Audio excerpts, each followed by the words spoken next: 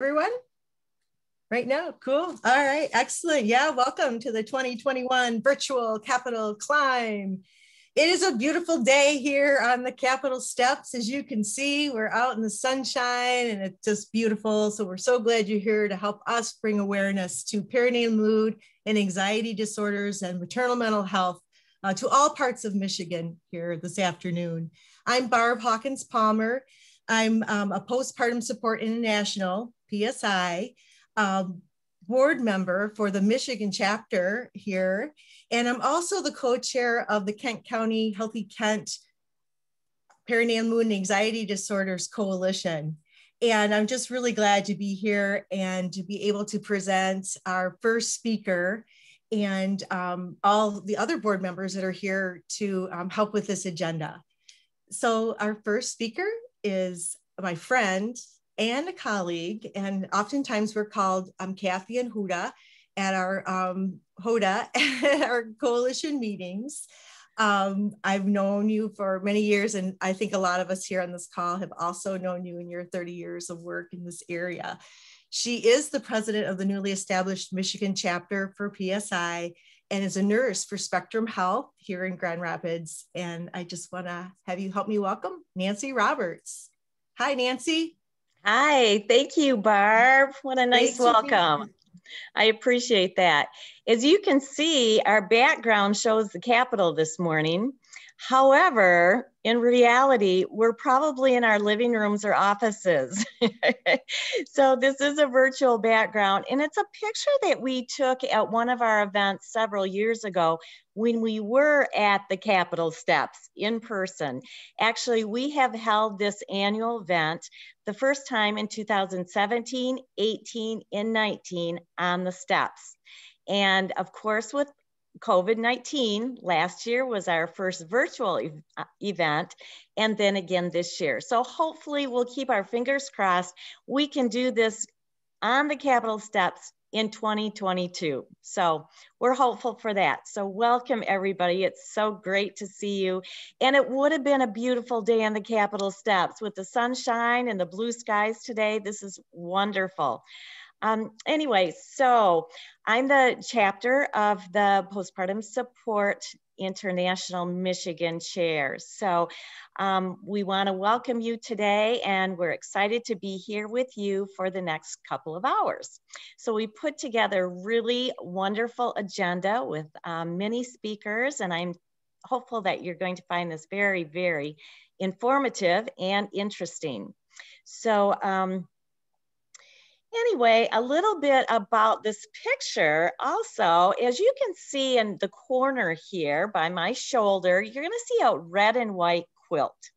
And that quilt has been in attendance with us at the Capitol Steps and travels all over the United States and is um, showcased at various educational events surrounding perinatal mood and anxiety disorders.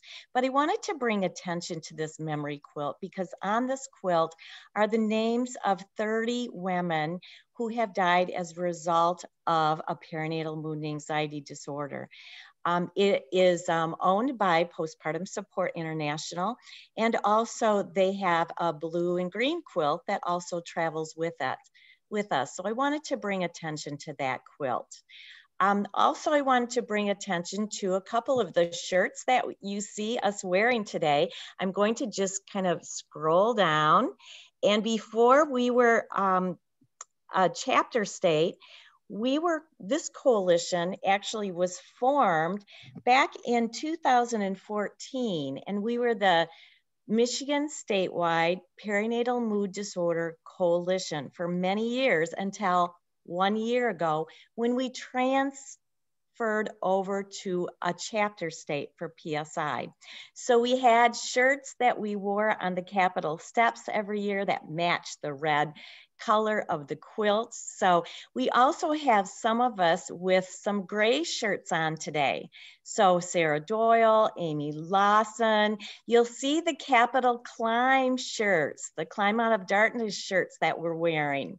So I wanted to just call attention to what we have on today, just to um, kind of combine the two events, the annual Capitol Steps event with a Climb Out of Darkness event. So that's a combination event today that we're really excited to be a part of. Um, I also wanted to um, highlight the proclamation that you saw on the screen just before we started this event. This proclamation um, was signed by our governor, oh, there it is, um, here in Michigan. And it is an annual proclamation that our um, health department pursues that uh, recognizes that May is every year Perinatal Mood Anxiety Disorder Awareness Month. So you'll see that as we kind of zoom in a little bit about um, all the different whereases and proclamations that we put forth. And um, this again has been signed by our governor.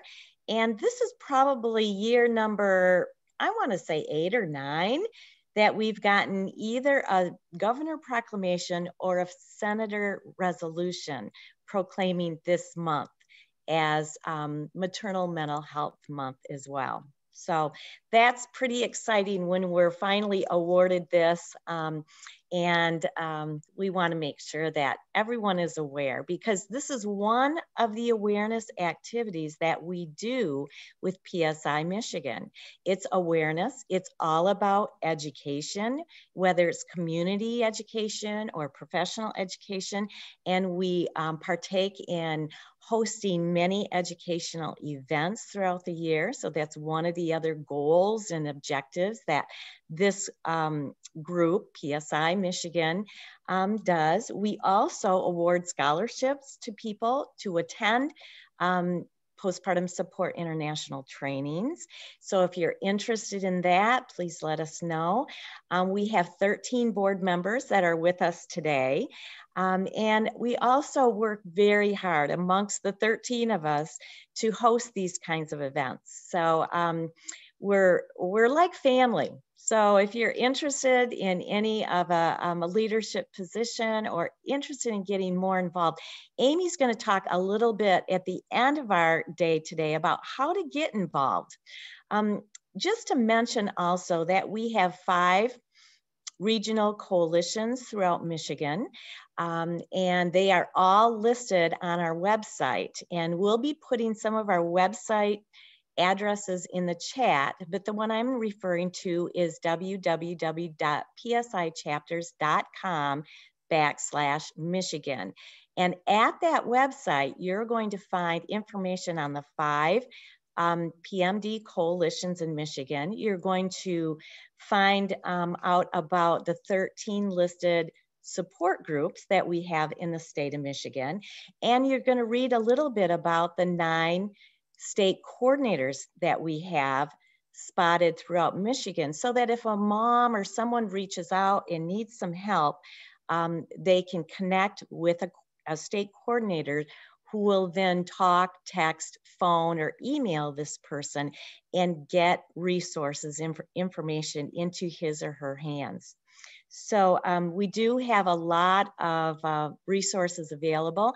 And as far as the state of Michigan, where are we when we compare ourselves to other areas throughout the US? And I find that because we've been meeting collectively um, and statewide for a number of years, we do have the benefit of being a little bit ahead of the curve.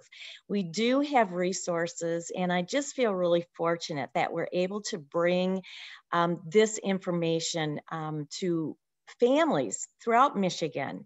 Um, moms and dads and grandmas reach out to us and you know we're able to reach out with professional education as well so as far as the state of Michigan, I think we are ahead of the curve, and I'm so grateful and thankful for that, and the hard work that this particular um, PSI Michigan coalition has done over the years to put us in, in position to us in this way.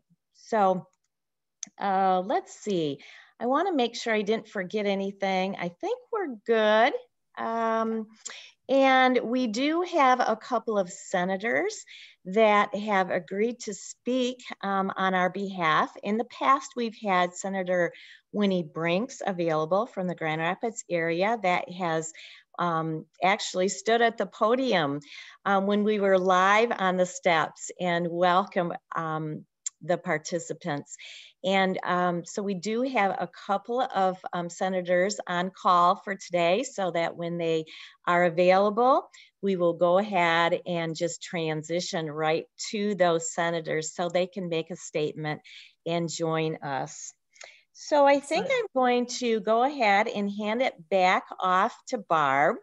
And um, she is our host for the day and our um, mentor. And yeah, um, I'm Barb, go ahead and have you um, just um, go you. ahead and lead us into the next presentation. Yeah. Thank, thank you, Nancy. You for having me. Yeah, nice job. You know, really, when you think about the years and all that we've accomplished, uh, growing this coalition to now be a Michigan chapter for PSI is very exciting. And I thank you for your leadership in that effort. Um, she's done that in Kent County. Nancy, you're spreading across, I know, the state and also the nation with your expertise. And so, again, we're just very fortunate to have you here in our state, and you can't retire. Okay. Next, we're, we're going to move on. Um, and again, wait for our uh, senators. If they are able to join us, we'll, we'll kind of fit them in. Uh, we're going to hear now about um, current legislation and the importance of having insurance coverage that extends, you know, for a year after birth. We have, um, again, current legislation happening and, um, and some personal stories that we want to share with you um, as we go along here. Um, first, we have um, Sarah Mertz and Amy Cole, who will be bringing us some information. Sarah Mertz is a nurse midwife and directs the POST project at Henry Ford West Bloomfield. Hi, Sarah. I see you there. Uh, she's a member of the American College of Nurse Midwives and currently serves as the chair of their perinatal mental health task force. Uh, Sarah is also a fellow board member of the PSI Michigan. Uh, joining Sarah today is Amy Cole from Mind the Gap Coalition, which includes PSI and the American College of Nurse Midwives, in addition to other national organizations that are committed to mental health uh, in childbearing women. She's also a member of the American College of Nurse Midwives and serves as their Director of Advocacy and Government Affairs. So I thank you both for being here at the Capitol Climb. Um, thank you so much. Um, I am uh, glad to be here with Amy today to talk to you about some um, government and advocacy issues surrounding maternal mental health. I think that we've made some uh, some big strides over the last several years in um, recognition that this is a situation and this is a condition that affects many women, one in seven approximately 900,000 women a year in this country. And I think that legislators, um, thanks to um, the work of people like all of us, um, everyone interested in this topic, um, and who has experienced and survived uh, a mental illness that affected their pregnancy or postpartum, um, have been speaking up and sharing their stories. And so I think that we have um, have generated some interest and some awareness of what's going on. And we just wanted to share with you today some of the um, current um, legislation and uh, activities that are going on around perinatal mental health.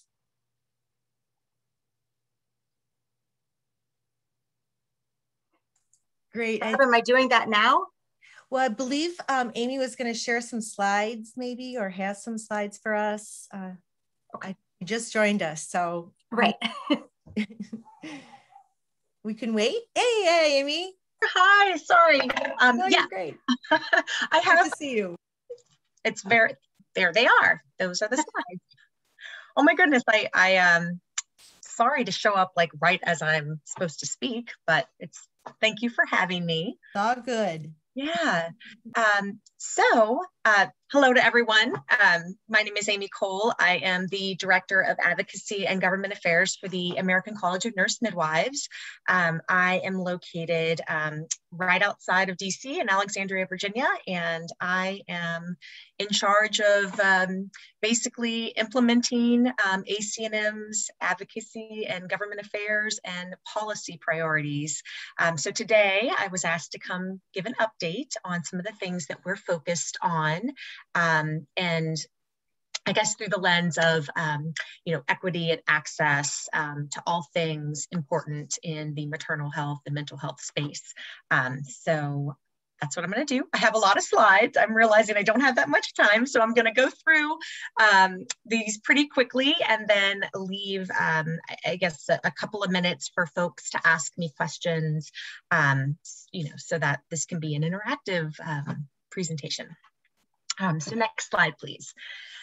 All right, so here I've kind of outlined all of the things that the American College of Nurse Midwives um, is really focused on um, we, our board of directors, alongside our um, very robust volunteer structure and the national office staff, um, are in charge for really ensuring that midwives and midwifery-led care models have a seat at every table, um, are you know fully integrated throughout our healthcare continuum, um, and that midwives are able to work to you know the full extent of their clinical training, their education, certification, um, and, licensure. Um, so a state like Michigan is really great for um, midwifery practice, but um, we have a lot of work to do in several other states um, surrounding Michigan and throughout the US, and a couple of things that we are trying to um,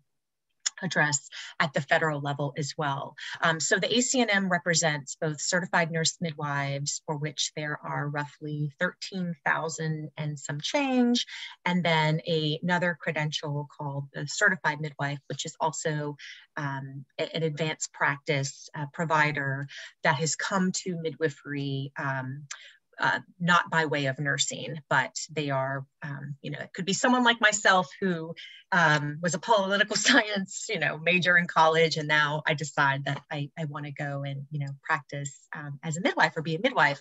Um, I wouldn't necessarily have to go back to nursing school. I could um, go to my get my master's in midwifery, taking all the requisite courses, et cetera, et cetera. So um, we represent these two credentials, uh, certified midwives. There's only about 120 of them in the United States, um, but we are working to grow because as you all know, I'm sure that there is a, um, we are struggling uh, not just in the maternal health space, but you know, just in healthcare um, with access to provider issue. And we know that um, midwives and the midwives that we represent are part of that solution um, to help improve access to care. Um, and you know, one of the things that we are, I would say, the biggest thing that the ACNM is focused on is really growing capacity within the midwifery workforce. Um, so everything that we do is kind of from that lens. Um, you know, obviously we have as an organization are really um, trying to address racism and inequities in the care continuum. Um, we know that a lot of um, the issues impacting um, people of color um, stem from racism and we know that that's you know, rampant throughout the healthcare system. So we have been very supportive of all manner of legislation at the state and federal level that looks to address this and come up with policy, policy solutions, um, you know, better integration of culturally competent and culturally congruent care, um, and, and, that's within the midwifery workforce as well. Um, full practice authority for midwives is a big issue, as I mentioned, uh, recognition of the CM credential because we know we want that to grow. Um, I'm going to talk to you all a little bit um, in depth about the next few slides about our midwifery education and increasing funding in midwifery education, um, access to hospitals. 97% of midwifery attended births in this country occur in the hospital setting, but yet midwives don't, um, aren't a lot of times able to admit their patients without having to turn them over to a physician, um, access to clinical sites. Um, I want to throw in here just the ability to, you know, ensure that all women and birthing people have access to the full panoply of um, healthcare services, including mental health services. Um, that is also, you know, something that we approach in all of our meetings, all of our discussions about, you know, midwives and what we are able to do and what our members are able to do, but then ensuring that people have access um, because it shouldn't be people that look like me um, only, you know, able to find a mental health uh, therapist and others not so much. So um, a lot of stuff on this slide. Equi you know, equity as we're looking at reimbursement, um, being able to be paid, um, you know, to, for doing the job, equitably paid, reimbursed, I should say. Um, many states do not, um, you know, eh, pay. We know that over 50% of the births in this country are reimbursed under Medicare or under Medicaid, and that we and we also know that um, the physician fee schedule under Medicaid is terrible, um, but yet there are 15 states where midwives are paid less than 100% of an already terrible um, reimbursement structure. And we know that this is also happening in private private payers as well and third other third party payers. So we are focused on that equity and reimbursement for doing the jobs we were educated to do. Um, and then obviously access to midwives and midwifery led care models, and then really um, a focus on reproductive justice issues and ensuring that um, women and birthing people have access to, you know, the full range of comprehensive sexual and reproductive health care services. Um, next, yep. So this is um, just a quick uh, snapshot of, um, we like to use this, this is, this uh, visual really resonates um, at both the state and federal level. So you know, Michigan is a yellow state, um, you know, Wisconsin, a lot of the states around you, we've got work to do, um, not as bad as um, the red states, but this is something that we use to, to state shame, like I say, on Capitol Hill. Depending on who we're meeting with, you know, it always comes back. All politics are local. And even when we're talking about things on Capitol Hill in DC um, with the leg federal legislators, um, the number one question, and usually the first question I get is, well, what is the state of play back home in my district, in my state?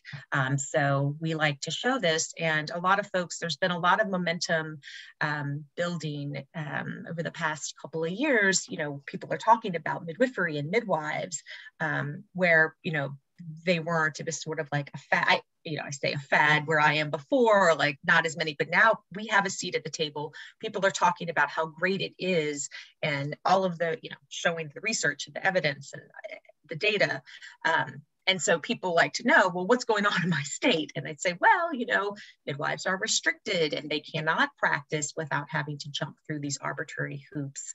Um, so this is a visual that we use for all of our advocacy efforts at both the state and federal level. Um, next slide, please. All right, so I'm gonna quickly go through a couple of recent wins for midwifery and maternal health. Next slide, thank you.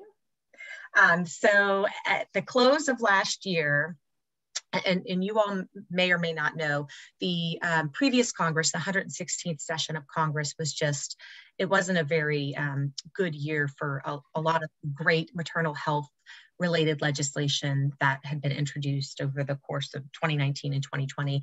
Um, not a lot of movement, and a lot of that is because you know we were you know and still amid a global pandemic, and all of 2020 was really focused on um, addressing issues around COVID, um, which you know maternal health it was an issue within COVID as well. But all of the great bills, the Black Maternal Health Momnibus, the Midwives for Moms Act, all of these um, wonderful pieces of legislation that had been introduced kind of you know hit a wall and didn't go anywhere so there weren't many wins, I should say, for maternal health care during last Congress, but within the budget bill that was passed um, at the end of, right after the holidays, the end of the year, there were a couple of things that um, are really good for increasing access to midwives and midwifery-led care programs.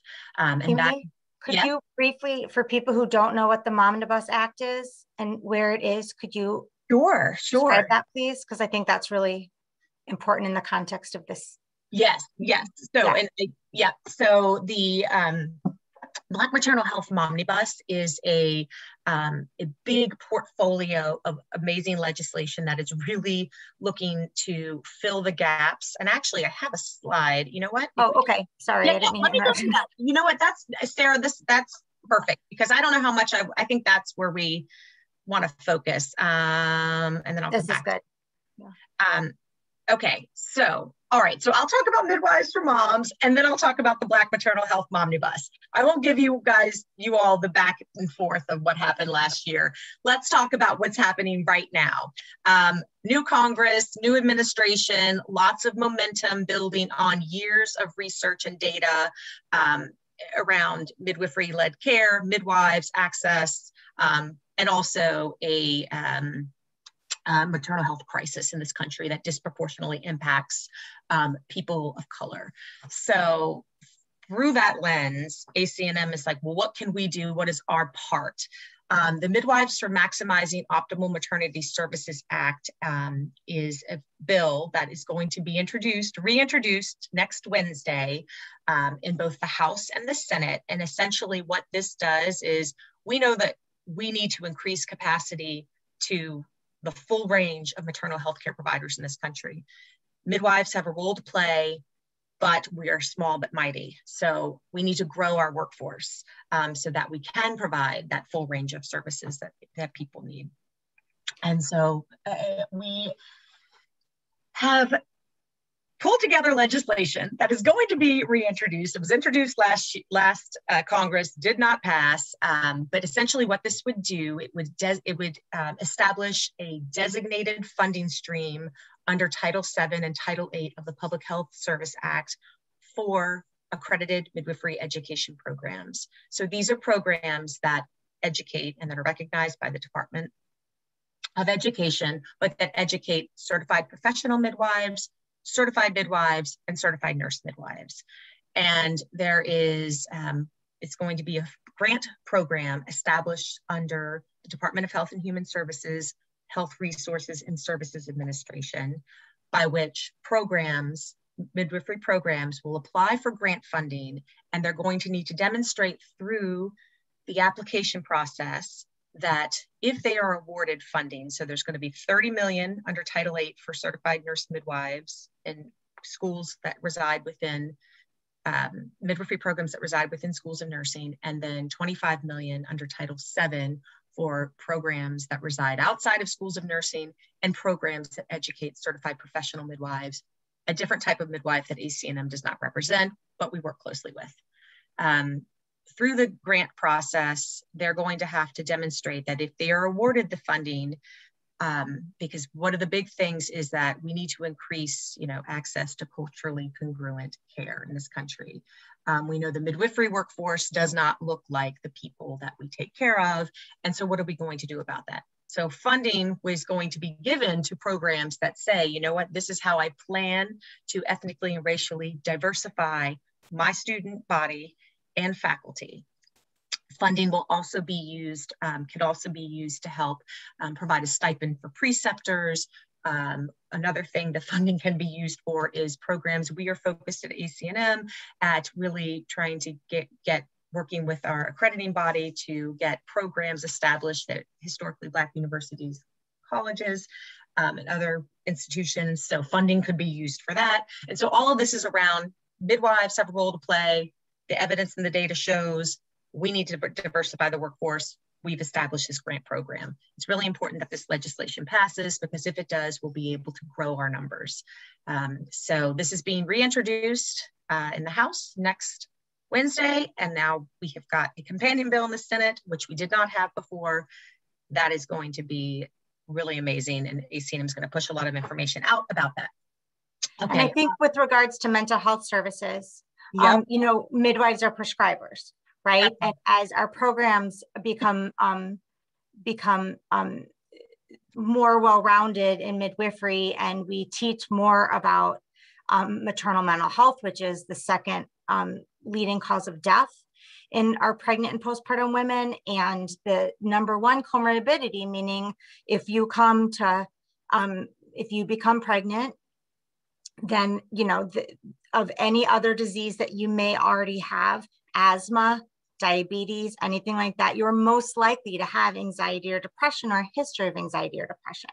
And so as midwives and ob doctors we need to appreciate that um, we need a lot of information. We need a lot of education around how to um, incorporate that in your ob care and in your postpartum care and so, you know, being able to do that through the midwifery programs and expand um, access to care to both OBs and midwives means that um, if uh, women and childbearing people are experiencing anxiety or depression that requires um, that requires um, management with medication, we need prescribers to do that. And as we know, there's you know a shortage of psychiatrists that are able to do that. So we really need family practice um, physicians and nurse practitioners, OBs, and nurse midwives who you know specialize in spending a lot of time face to face with our patients and so forth to be able to manage and offer those services um, um, being able to prescribe antidepressants if that's necessary in a person's recovery for example so part of the importance of of improving maternal mental health services is being able to um, increase a workforce that's able to uh, take care of of our people when they are struggling with these issues Right. No, thank you for making that connection. And I think I probably should have started off by saying that the ability for the members in the professional, you know, the CNMs and CMs who represent to practice full scope midwifery care, which includes all of those things, um, and ensuring that we do have a workforce so that people can be deployed into low resource, rural, and underserved areas to provide this critical care, which includes the maternal mental health, full access to maternal mental health services. Thank you, Sarah. Um, so that's why we're focused on growing capacity within our workforce, in addition to having midwives be able to practice um, the way that you know they were trained and educated to do. Um, next slide, please. And then I won't spend too much. This is just another, the baby, this is another critical piece of legislation that we've been focused, and this builds upon um, some CMS data around um, how access um, to prenatal postpartum labor and delivery services that have been um, that occur in the birth birth center setting um, are great and we need to expand upon that and you know midwives are a great resource. Um, the evidence shows this, you know, high quality, um, low cost. And so this is a piece of legislation that would build upon um, a demonstration project um, by establishing a grant program in six states under the Medicaid program. So more to come on that. Um, next slide, please. Uh, the Black Maternal Health Momnibus. Um, this is also, I talked about this very briefly, um, but this is basically evidence-based. It's a group of 12 bills that um, what, what was done was the House Black Maternal Health Caucus took a look at, and so that's bill of 100 plus members um, in the House, took a look at all of the barriers that remain and all of the things as it relates to maternal health um, that had not already been addressed in legislation. And basically, this legislation is filling the gaps through the lens of we need to do something about um, the state of maternal health and the impact it's having on um, Black women and birthing people and communities of color. Um, so this is, I, I, won't go through, I can share lots of information for folks. I think um, one of the big things here that we have been working with um, Representative Lauren Underwood and Alma Adams, they're the co-founders of the Black Maternal Health Caucus, um, because it, it works, it's complementary to the Midwives for Moms, so that building capacity in the perinatal workforce um, there is a great bill called the Perinatal Workforce Act that we are working um, to elevate and push alongside the Midwives for Moms because this basically takes everyone else in the perinatal workforce, physicians, nurse practitioners, doulas, and establishes a grant program for diversifying the entire workforce. While Midwives for Moms is just looking at the midwives, the Perinatal Workforce Act is looking at everyone else. And um, there's also legislation that um, would create grant programs for uh, medical schools, nursing schools, schools of public health to um, you know, be awarded a grant to incorporate implicit bias training into their curriculum. Um, mental health into their curriculum. Um, but this is something that we are very um, supportive of, um, as is pretty much everyone in the maternal health um, stakeholder community. Um, it's a very um, it's a very partisan. It shouldn't be a partisan issue. Maternal health should not be a partisan issue, but as everything is in Congress, it's I mean it's everyone has a mom or is a mom. That's what we like to say. So this should be something like a no brainer but it's not. It's complicated. I don't know why, but there are several pieces of legislation within the um, Momnibus that are bipartisan on are likely to pass this Congress. And so we have been, and the Perinatal Workforce Act is one of them. So we have been, you know, we we've got a great campaign going um, and really encouraging our members to um, engage and help support and engage at the state and federal level on this very important issue. Um, and Postpartum Support International is also very supportive right. of Momnibus. And yep. Momnibus, um, some of the key factors um, included in maternal health is um, is determining what uh, um, what are um, barriers to receiving behavioral health and mental health care services for women. Um, so they that's one of the key factors that's included in the Momnibus legislation is surrounding behavioral mental health services. Right, and and looking how racism impacts, you know, the social determinants of health. I mean, that yes, there's there's it is um it's fantastic. So if you want more information, the ACNM has a campaign set up. I'm happy to share this with Sarah so she can share with, with all of you um, to learn more about all of the individual bills and how maternal mental health is weaved into pretty much everything in within that Momnibus. Um, next slide, let's see. Um, the MAMA Act is an, another great bill that we have been um, uh, supporting. Um, this would authorize federal funding for the Alliance for Innovation on Maternal Healthcare grant program. And these are the bundles that hospitals are encouraged to implement, um, to look at things. At, I mean, I think mental health is one of the bundles that folks mm-hmm. have been looking at. Um, opioid use, um, uh, hemorrhages, and so that this is this is a great. This would ensure that the federal government um, authorizes funding during the budget process annually for AIM. Um, so ACNM is very involved with the AIM program one of the original conveners alongside ACOG. Um, so we've been very supportive of this and also expanding. So the big one here is, um, I, I, kind of moved through it really quickly, but the American Rescue Plan, um, which passed earlier this year, did include an expansion of, um, it's for a period of five years, with a demonstration program, if you will, of um, Medicaid services from 60 days postpartum to a full year postpartum. Um, now, this is still an option for states, but and this includes, so if you are a state that decides to do this, you've got to include all, all, all the full range of services, which includes maternal mental health services. Um, the MAMA Act takes it a step further, and this would require, so rather than it be an option, it would be something that states have to do. So let's move from the 60 days, you know, you have to do for this whole year postpartum. So um, it is a what happened with the American Rescue Plan is a step in the right direction. It doesn't go far enough. And I think everyone in the maternal health stakeholder community, including PSI, um, I know that we're all part, I'm sure you all have talked about this. We're part of this great coalition called Mind the Gap.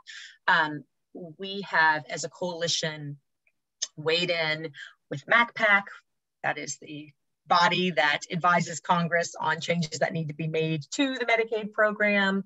Um, you know, several studies, lots of research, everyone agrees this needs to be something that is extended, mandatory, states must for a year. But there's a cost associated with it, um, and therein lies the issue. Um, but we're still going to continue to beat the drum. There are several pieces of, including within the Momnibus that I just talked about, there's a provision. It seems like everyone has a provision about expanding, making it mandatory that Medicaid, that states expand coverage and provide access to that full range of full spectrum of care. Um, so this is, um, and then again, the, you know, grant programs for investing in implicit bias and cultural competency training. We know that people do better with providers that look like them. Um, so that is also something that you will see um, in several pieces of legislation that are out there in the maternal health space. Um, next slide, please. And I think I might be. Um, Rural Moms Act is an, another um, bill that we have been super supportive of as well. Like I said, these are all being reintroduced this Congress. Um, this would establish um, a new uh, rural maternal health and obstetric care training demonstration project um, that would include nurse practitioners, nurse midwives, doulas, obstetricians, gynecologists, um, women's health nurse practitioners, you know, really everyone in that maternal health space.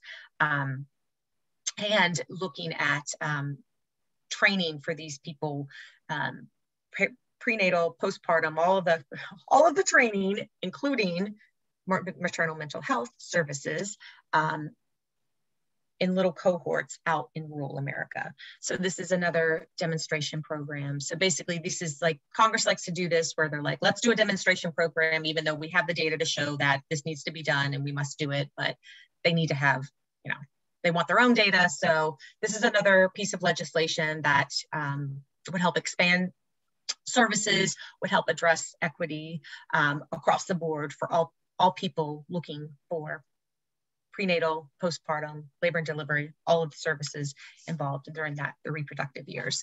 Um, and so we've been super supportive of that. And we also have another campaign on our site, um, you know, engaging our members to help engage members of Congress, share the word with consumers, their clients, all of the things. Um, and then I think the big one here is building off of a lot of the waivers that were put in place at both the state and federal level around telehealth services, especially during COVID-19. Um, they want to explore like what does what would that look like um, to make permanent? Because um, I know a lot, a lot of folks have a lot of groups, health groups have done this, a lot of states have done this, but let's look at making this permanent for something like under the Medicaid program. So people could um, access these services, both prenatal and postpartum services through telehealth networks. Um, so, and that would include maternal mental health services as well. Um, so a lot of good bills, um, a lot of momentum, a lot of bipartisanship on some of these. And we are feeling um, very hopeful that there will be some success in this space, this Congress. Um, like I said, you know, they almost have to make up for not doing very much last Congress, um, unfortunately. And then a lot of this stuff you will see too at the state level. Um, a lot of states are, so California, for instance, has their own version of a Black maternal health omnibus. And I know that there are other several states that are looking at that as well. So California, I point to because they, you know, a lot of what California does kind of, you know, creates policy federally. So they um, recognize the need and are doing it on their own. They're not even going to wait for the federal government or, you know, for Congress to pass it. So I expect to see more of that in the coming um, legislative sessions as well. Um, I think that, and then barriers to mid, like midwifery care, I, I kind of led with this. This is really ensuring that people understand what we do as providers and that we are primary care providers for women throughout the lifespan. It's not just pigeonholed to, you know, birth, um, prenatal and postpartum services, but you know, we are a recognized provider under the Medicare program.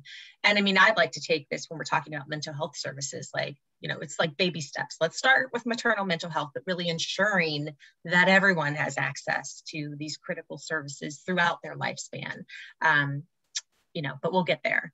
Uh, but we at ACNM are looking at the things that prevent our members from being able to, um, you know, work to the top of their scope, um, provide, you know, prescriptions. I mean, all, of the things. So through that lens, these are some of the things that we're focused on under the Medicare program currently that are still barriers to um, midwifery care. Um, like I, will point this one thing out just so folks can understand what I'm talking about. Um, there is quite a large um, disabled population of women of reproductive, women and birthing people of reproductive age under Medicare. And um, as it stands right now, a midwife cannot um, write a script for breast pump. Um, because Medicare says that they cannot. Um, and we're trying to fix that because we also know that has downstreams. A lot of a lot of state Medicaid programs look to what Medicare does, and we know that this has been an issue with several states. I'm not sure if it's an issue for Michigan or not, um, mm-hmm. um, but yes, is it okay? Well, yeah. So that's something that we're trying to fix federally, so that there's a model, so we can say, look, states, you know, here. Um, so that's really, I know I kind of went through this really quickly. Um, if do folks have questions? Um, there's there's a lot there's a lot going there's a lot going on. Yeah, there really is, Amy. That was um, just a lot to take in. I appreciate your time and uh, all that you shared here. Uh, it's just been very helpful to us in our advocacy work in Michigan. I feel like we're ready to take on some things. So very, very um, helpful.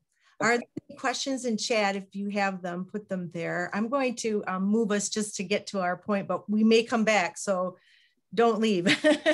if you if you can stay, that'd be great. Um, I'd like to uh, introduce our next presenters that are with us today. Um, and also welcome in our Facebook audience. I had not mentioned that we're streaming on Facebook uh, live today. So we're very, very excited to have you all joining us on that um, platform as well. So um, our next speakers are Carrie Coalhouse and Kira Baskin, who will be sharing the experience of losing healthcare coverage, some of the things that Amy was talking about, I think um, will uh, play out in some of our next presenters. Uh, Carrie is the executive director of Moms Bloom, which is an organization that provides in-home postpartum support to families with newborn babies. And also with Carrie is Kiera Baskin. Hey, Kiera.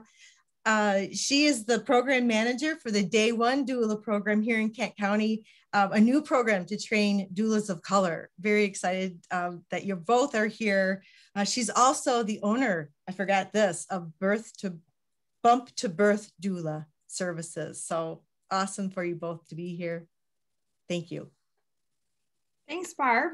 And uh, thanks so much to um, PSI for, for inviting us to speak.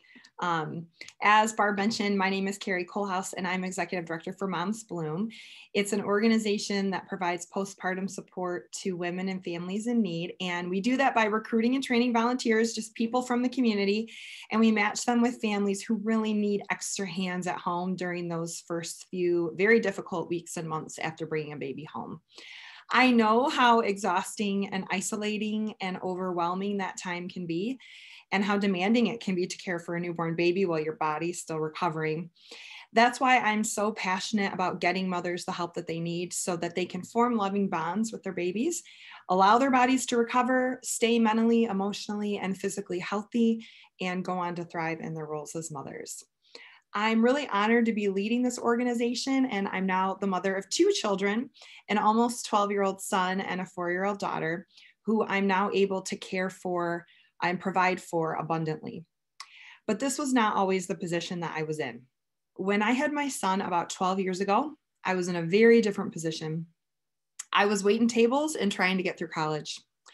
And I got pregnant. Unfortunately, I did not have health insurance that covered pregnancy, but fortunately, I did qualify for Medicaid so I was able to keep myself really healthy during my pregnancy. I went to all my doctor's appointments. I took my prenatal vitamins. I ate well. I exercised every day in between classes. I was really committed to staying healthy and having a healthy baby. I felt very well supported by my doctor and the team at her office. On my final visit to the doctor before I gave birth, I remember my doctor saying, Hey, you need to schedule your six week postpartum follow up visit and you need to keep that appointment. Don't you dare reschedule it because you're probably going to get dropped from Medicaid shortly after you give birth. I was sort of taken aback and I said, oh, I didn't know that that was a thing. Um, will my son still qualify for coverage? And she said, Yes, your baby will still qualify, but once the baby's out of you, you'll more than likely to get dropped because you won't qualify anymore. So I did make it to that six week appointment, and I remember feeling physically and emotionally exhausted. Having a newborn was so much harder than I expected. It felt like the whole world had been keeping a big secret from me about how challenging this whole thing was. And looking back now, I see that postpartum depression was creeping in. But at six weeks, I was still confusing it with sleep deprivation and the very real difficulty that nearly every parent experiences. So at that visit, I was most concerned with just discussing my physical recovery and breastfeeding. But shortly after that, things got dramatically worse. I fell into a very dark place that included a lot of intrusive thoughts that were really scary to me. Horrible thoughts about hurting myself and hurting my baby.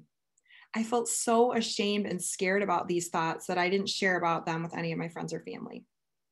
I thought maybe I was just a terrible person and I was a failure as a mom, and I needed to just work harder at it.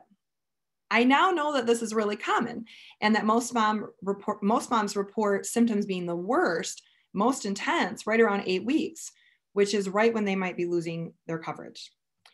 Then one day, a stranger knocked on my door. She was a volunteer with a local breastfeeding advocacy group, and she was there to help me succeed at feeding my son. Now, because she was a stranger, not in spite of the fact that she was a stranger, but because she was a stranger, I told her the truth. When she asked, So, how are things going? I said, Not well. I feel like I'm failing as a mother. I feel angry and sad and hopeless all the time. I'm scared of my own thoughts. And she said, I'm not a doctor, but it sounds to me like you're suffering from postpartum depression and you should call your doctor. The next day at work, the memory of what I had said to her and what she had said to me was kind of reeling through my mind. And I hid in the stairwell so that no one could hear. And I called the doctor and said I needed to be seen, that I thought I had postpartum depression. I didn't have health insurance or the money for that doctor's visit or for any treatment or medication, but I put it on a credit card. I had realized after my conversation with the stranger that I couldn't ignore this, it was too dangerous. I've thought back to this situation a lot over the last 12 years. I've wondered what if the stranger never showed up? What if she hadn't known what to say? What if she'd reacted differently? What if I wasn't a white woman? What if she had labeled me as just another single mom? What if I hadn't been about to graduate college and confident I could soon pay off debts? What if I didn't have a credit card or didn't qualify for one? I now know that as many as one in five women will have a perinatal mood or anxiety disorder, which makes it the most common complication after childbirth. And with more than 100,000 births taking place in Michigan each year, that means as many as 20,000 women right here in Michigan will experience a mental health disorder like I did. And with 41% of Michigan's babies born into homes below the poverty line, how many of their mothers will be in a situation as privileged as mine? That's why I'm here today to ask Michigan's leadership to pass legislation to ensure that moms can stay on Medicaid in our state for at least one year after giving birth so that she has the means to stay physically and mentally healthy and be well enough to truly provide quality care for her baby. The life and health of a mother is not only important when there is a baby inside of her. And with startling maternal mortality rates after birth, we need to take action to ensure that mothers survive and thrive. We have to do better. As a society, we need to value and support mothers as much as we value and support babies. You simply can't do one without the other. And now I want to go to Kiara Baskin, who I'm honored to have on our Moms Bloom board. Um, she's been doing great work for many years on the ground with mothers, and she has a lot of great, of great information to share with us about mothers who have been impacted by this lack of coverage.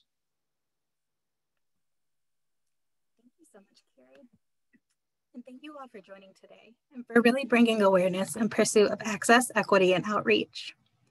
As a doula and community connector, I've seen firsthand the gaps that exist for mothers that pour over into the no other part of our healthcare system has a greater effect on the health of our population than maternity care.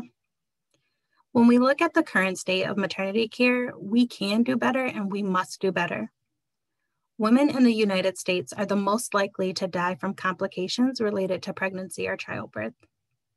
Black women, however, are significantly more likely to have severe maternal morbid morbidity, SMM, or a near miss. These events can have long-term consequences to a woman's health. High blood pressure, infections from a cesarean section, and blood clots are some of the top contributors of severe maternal morbidity. These events increase the likeliness of rehospitalization during the postpartum period. And what I've personally witnessed is over 50% of the pregnant women who've come under my care have experienced month to month changes in insurance. And I saw the same women become uninsured at various points within six months following birth. There is an adjustment period after one delivers a baby, and I always prep my clients on what's to be expected and how to alleviate stress. However, I still haven't quite found the best way to tell a mother that she may lose her healthcare coverage just 60 days after the birth of her baby. Many days I found myself sitting alongside these mothers on the computer, or on extensive holds with customer service doing whatever we could to make sure that coverage wasn't lost. Our mothers are really our first homes and we must take care of them. Coverage can literally mean life or death. We continue to see maternal deaths during the postpartum period. Permanently extending coverage beyond 60 days postpartum in Michigan is a direct response in correlation to improved outcomes and reduction in disparities. We can't wait to move on this. The future of our community depends on women having access to the support services they need.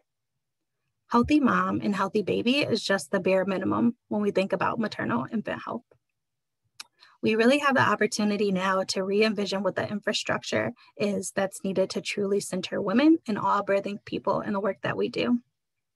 We must make this a priority. We must continue to elevate the voices and needs of those who historically haven't had a voice. We've waited far too long for this moment, but the time is now. And I'm really hopeful and excited to see the transformation and support of assuring better futures for our community and for all. Thank you. Yeah, wow. Thank you both. That was pretty powerful. Um, you know, the needs that we have that some law would help make a difference, wouldn't it? Just to extend our uh, medical coverage for pregnant women, or I guess postpartum women, is, I think, really critical. And we've had some efforts for COVID. Is that right, Carrie? Where um, was it Senator Brinks has introduced some legislation? Could you talk about that? Sure. So right now in Michigan, um, Medicaid coverage does extend for one year, but it's due to temporary legislation um, as, a, as a result of COVID-19. Um, so the Senate Bill 252 that Senator Brinks has introduced would permanently extend um, Medicaid coverage to one year postpartum and ensure that once the, the federal legislation expires that we would always provide that support here in Michigan. I would want us to know how do we um, address that? Is that something we would write to our local legislators? Is there a, maybe a number we could put in the chat box for which bill it is? Because I believe she is going to be re she already has reintroduced it. She has, and she's going to be talking about it on the Senate floor today, um, along with PMAD awareness. So, um, which is great. So, um, yeah, I'll I'll put some information in the chat about the bill and about what folks can do to help support it. Oh, I think that would be great. Just great. I hope you'll read the chat. There's a comment um, from Lindsay Capel. Our mothers are our first homes and we must take care of them. I love that quote too. Lindsay, I wrote it down thinking, you know, mothers are our first home. Uh, very powerful thank you again for sharing your stories and you're so on target on the what ifs. Uh, talking about your privilege, Carrie, uh, it probably would have been a different story, you know, if you didn't have some of the assets that you have, mm-hmm. that you have. Are there any further questions or comments from our audience? We'd like to have them while we have these excellent experts. Same with Sarah and Amy are still with us as well. So we invite you to ask any questions. Will there be a summary of the information shared um, with legislators? Um, I, I think what you all are sharing is so important. You know, that's a great idea. Um, maybe that's something the board members can consider, you know, as a follow up. Uh, we're going to do some debriefing, you know, that that would be a, a great idea to help with, again, this legislative bills that are, are federal level and then also our state level that we we can have an impact i really believe with as many members as we have as part of our friends of pmad and also the chapter here in michigan i think we can have a strong voice Excellent. Excellent. Well, we thank you all once again for being here, sharing your stories, your personal experiences. It, it, helps us to understand and how we can make some changes lasting through policy and changes in our in our laws. Thank you again. We are going to move on. Uh, we have um, this is probably one of my favorite parts of the climb is our PMAD survivor panel. Uh, to you know hear from those who have actually been impacted by perinatal depression and anxiety and learning from them what they've been able to do to be resilient and to uh, get through and to manage their um, depression anxiety. So I'd like to introduce my fellow board member, uh, Kirsten Kimmerly, who will be moderating our panel of experts here. And she'll be introducing our, our moms and getting us set off for um, this next part. Welcome, Kirsten. Thank you. Thank you. Um, I'm Kirsten Kimmerly, as Barb mentioned. I um, am actually very near to the Capitol um, I'm from the capital city here. I am a Lansing area. My office is actually in East Lansing, um, women and children's therapist. Um, and we have, I think, five women that are going to join us today. And I guess I'm not exactly sure if they're all here because of how the view is. So let me see if I can take a look on the side here um five different women that i see sasha is here and i see mariah and amanda and I think we've got a Melissa and a Chelsea somewhere out there. Um, so we've got several local women, and then um, I know one of our women is also from the Bronson area. Um, and I represent those moms, like some of you may be, that I have a nine year old that I found out I could not do third grade math during the pandemic. I had to tap out on my math knowledge as early as third grade. So, for those of you who are also working and teaching from home, um, that that is another set of stuff that we definitely understand. So, this entire time I've been um, working during the pandemic with families and children and mothers and parents in general, talking about how to get through this time. Um, so I'm really glad to be here with you, and I'm super excited. So for you to meet the women. Um, I think what we'll do is have each of you introduce yourself, tell a little bit about who you are, who your kiddos are, what you've been through, if you have some successes or some things that were challenging. Um, if anybody has questions, feel free to put those in the chat. And I do our local support group here every week. And so we'll kind of run it a little like that, kind of just a casual, informal conversation. Um, so, welcome everyone. And let's see, it looks like not sure who we want to go first. Maybe Amanda, I see you pop up for me. Are you up for that? Okay. Yep, that's all right.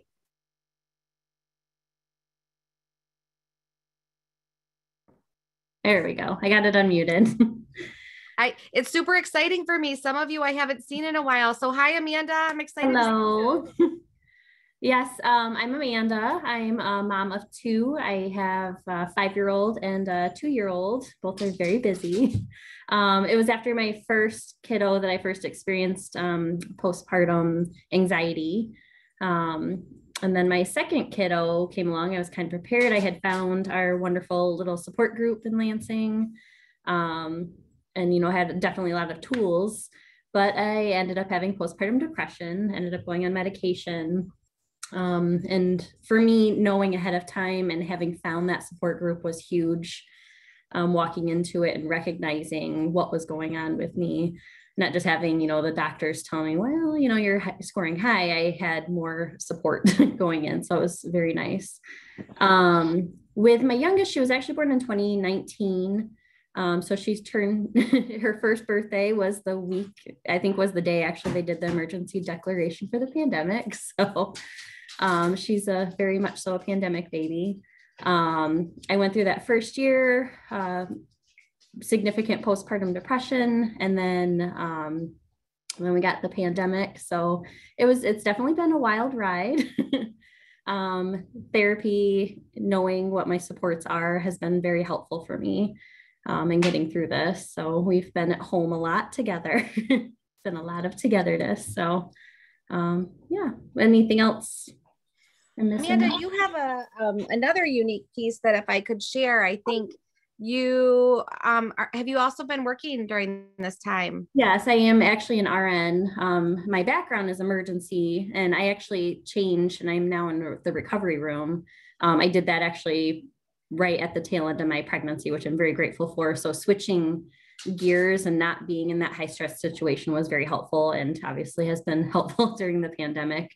Um, but being immersed in it though, I mean, even though I'm in recovery room, you know, it's still very present in our lives. So trying to stay on top of what's going on pandemic wise, managing family. Uh, for yeah. me, cutting back hours too was kind of helpful last summer. So great. Yeah. I really appreciate you joining us and sharing a little bit. I can imagine that you working and especially working in that field yeah. added just another element. Um, I know I personally work with lots of nurses, so lots of elements yeah. of like, what am I bringing home?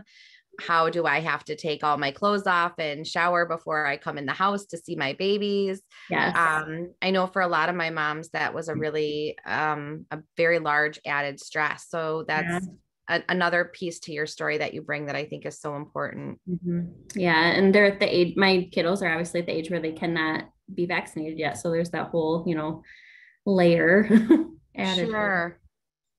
Yeah. It's I'm so glad that you came and that you shared. Thank you so much for hanging out with us today. I'm sure we'll have some more to talk about as we continue.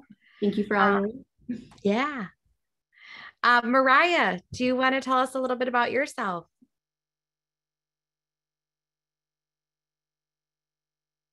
All right. Hi, I am Mariah. Um, I am from um, Kalamazoo area. I um, have a 13 month old now, little girl, and I am, um, gosh, 25 weeks pregnant. Um, so, kind of um, doing both sides here in the pandemic, giving birth, and then also choosing to get pregnant again. um, so, it was, it has been a an up and down journey. Um, when obviously when I was when I was pregnant with my first Mila um, was before the pandemic hit, so it was very um, it was a very traumatic process to go through all of the um, shutdowns and not knowing and rules changing. Um, I had Mila April 9th, so it was you know right when things were shutting down and um, no visitors at the hospital and um, you know, we didn't know what who could come over after we got home, and so I um, suffered through a lot of guilt of um, decisions that I felt like we had to make to, you know, limit family coming over and um, people visiting. And um, Mila is the first grandchild on both sides of the family, so there was just a lot of a lot of postpartum guilt. Um, on top of then um, depression. And at first, I blamed it on the pandemic, and I thought, you know, it was just um, the situation we were in, but um, it did not get better. So finally, when Mila was about four months old, I started um, reaching out for help and doing our local support group and going to therapy. Um, I do also work full time at Bronson Hospital. Um, I am in the medical records department, so I'm not, you know, clinical, but I have um, then had to fight back and forth of working from home, working in the office, um, choosing daycare for Mila, and and just always you know fearing that risk. And then the exposures come, and you know daycare shuts down or exposure at work. So um, it it has been a lot. It was um, a hard choice for me of whether or not we did want to get pregnant again and go through it all again in a pandemic, but um, here we are you know, over a year later and it's not going away. So I felt like we just um, needed to keep living life. And if I could do it once, I could do it again. So that is, that is a pretty. that is a brave thing. Absolutely. You survived the hardest parts of having a baby. You did all the things. Um, you know, I think one of the things that we talk a lot about in the group that I work with is setting boundaries as a mom is really tough. And so you had to do it in even a very different way about visitors and unknowns. I think unknowns are so anxiety provoking. Um, and you had to really kind of step out and set boundaries with your family about things that you didn't even know and make the best decisions you could. How was that for you? It was extraordinarily challenging. Um, not only did we not know, but um, things changed nonstop. You know, guidance changed, and you so you didn't know what to believe and um, so nobody met Mila for the first month. um, they came and did a window visit, which um, is so traumatic to me still to this day that yeah. our parents met her through the window. um, and so it was just, you just feel so guilty because not everyone made those same decisions that you did. Yeah it sounds like you worked really hard to keep your family safe and your baby safe and even the grandparents safe because coming home from the hospital, there was a lot of uncertainty about what you might bring in the same way that Amanda had it as an employee, you know, just as someone who'd been inpatient. I, I so appreciate you joining us and sharing this story. It's a story that resonates with lots of people, lots of families that gave birth during this time. There were a lot of things to grieve and that window visit is probably one that you're working your way through. Slowly but surely. yep. I, one of my favorite things is find your feet now. I love to say that to myself and to my women. And that's what you did then. You just found where you were and you did the best you could with what you had, you know? I think um, I think Sasha can resonate a little bit too with Mariah's story, um, as she also delivered dur- during the first parts of the pandemic. So we'll slide on over to Sasha and maybe she can tell us a little bit about herself. Hello, uh, my name is Sasha. I am a stay at home mom to three girls. I have an 11 year old who has been doing virtual school for the past year. I have a two and a half year old who is now potty trained. Hallelujah. and um, my one year old right here, this is little Luna. She was born April 21st, so um, you know when my my first my oldest was born i went through pretty pretty severe postpartum depression. It was was so bad i was having suicidal thoughts. I had no support no you know my husband was working third shift so he was working working all night sleeping all day. I lived in the middle of nowhere. I couldn't see family and friends. I didn't have a driver's license. It was really bad when my second was born, I found the group Shades of Mother Motherhood, and it and it helped me cope with a lot of those traumas. And then Miss Luna here.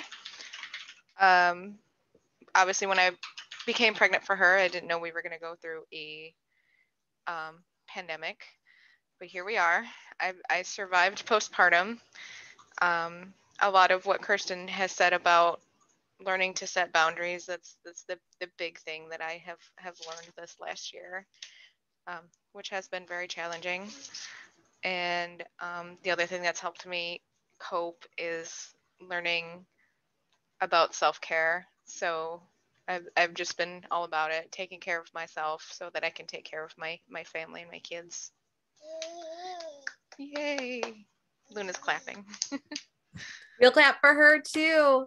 Thank you so much, Sasha, for joining us. And you certainly have been through it too. Um, can you comment at all about some of the things that you have done? I think that that's a really hard topic for parents during the pandemic. How do we find self care? What are yeah. some things that you might have used or tried? Um, well, I before the pandemic, I've been um, all about keeping my house clean and and you know keeping doing my laundry and all that. And I just kind of learned to just let it go. I'm like, the laundry will be there tomorrow. You know, I deserve a bubble bath.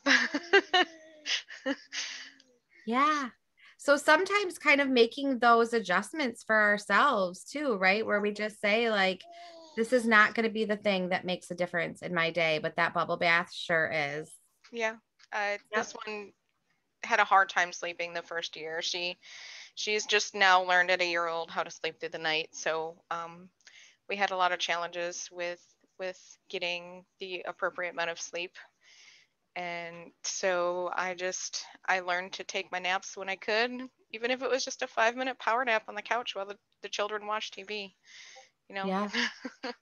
here, turn on some TV. Let's mommy take a rest absolutely i think starting to to kind of take that guilt piece that i hear lots of moms talk about i heard mariah mention it and really try to you know work through some of the things about this is not how i wanted this to be but right. this is how this works and for all three of you not having maybe supports that could come and relieve you so that you could get that rest or that nap or mm-hmm. you know help clean your house or whatever if if you didn't have those supports sometimes you had to use things that you wouldn't normally choose.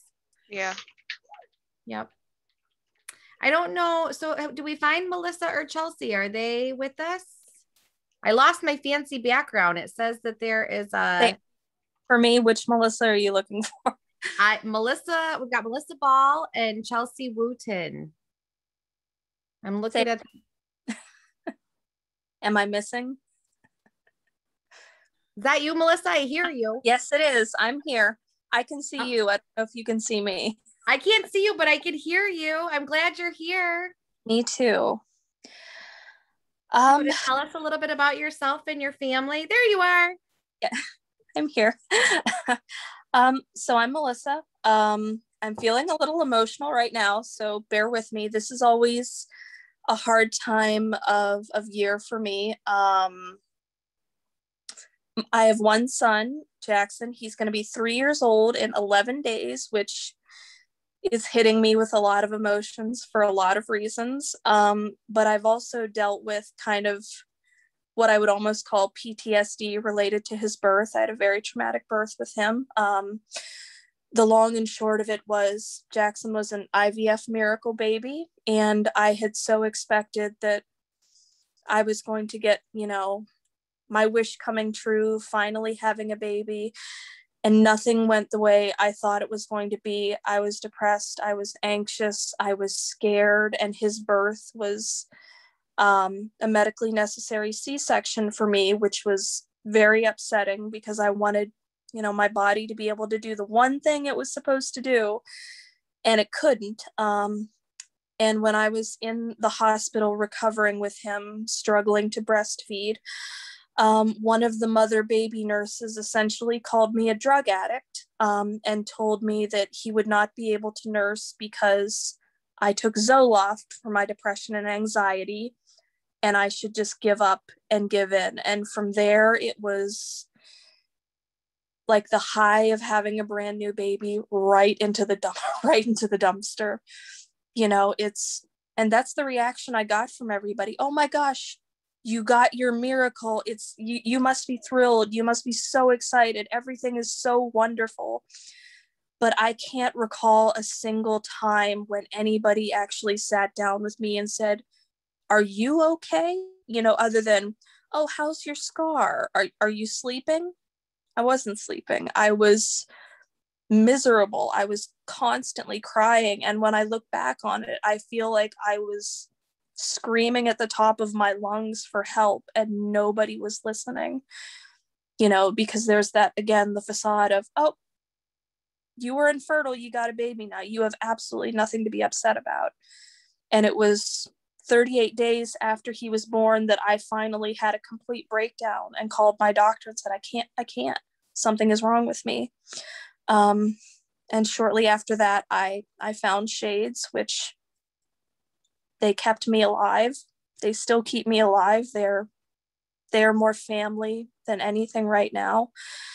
So, um, and yeah, and I'm trying to navigate, uh, you know, we'd like to have another baby we'd have to do IVF, but we're in the middle of a pandemic and I don't feel comfortable going through medical treatments and all these things when I don't know how safe it's going to be. So, and I think what Kirsten said that resonates with me so much right now is grief.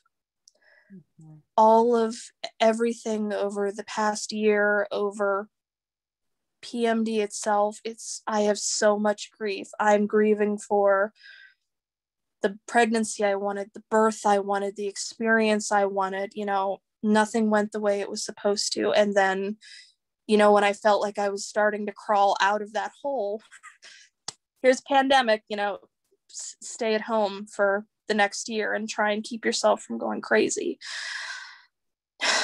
So it's it's been a lot. I I've always been of the belief like it's the postpartum it, it doesn't stop at two years old or you know whatever the marker is it's like it still factors itself into everything so I just kind of rambled there. So, so put we so appreciate you. No, we appreciate you sharing your story. And um, Melissa's one of our rock star moms. When she referred to Shades, that's the name of our, our local group here in the capital area. Um, what I hear all these women mentioning is the importance of support and that was a really hard thing to come by over this last year virtually. I'm so grateful that it was an option for so many and that so many found that option. Um, Melissa hits on a couple really important points that I know have, have been issues for lots of families and that's a lot of our IVF families, a lot of our fertility families. Their their path looked very different during this time or the considerations to continue their path looks very different there is a lot of grief around that journey as well. So I, I really appreciate you sharing that. I know it's very vulnerable. Um, and then the other thing that you mentioned is kind of like once you get your head up for air, you know, you're ready to get out, you're ready to see people, you're ready to do things. And then it's like, nope, sorry. Yeah. there will be no things. And also 18 months 18 months is a really tricky time, right? We all have these kids who are getting into all these things and now you're at home all the time with these really inquisitive kids. So um, i really appreciate all of you sharing. I and i appreciate all of the parts of your story that i think speak to other people. Um, i'm not sure is chelsea here? Yes she is. There she is, is. She? yeah. He's here.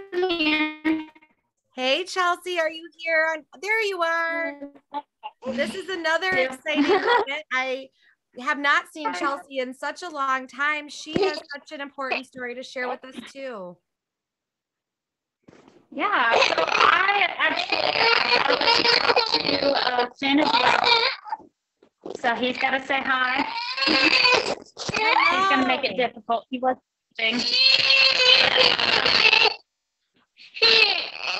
I, uh, I moved to Lansing two years ago and I might have to actually go into the other bedroom.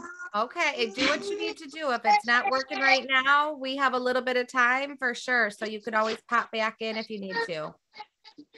It's okay. I've learned um, that he just kind of has to cry some things out. He's learning that he can't play with my phone all the time. Ah, that's um, a tough one. I'm Chelsea, and I moved to Lansing two years ago.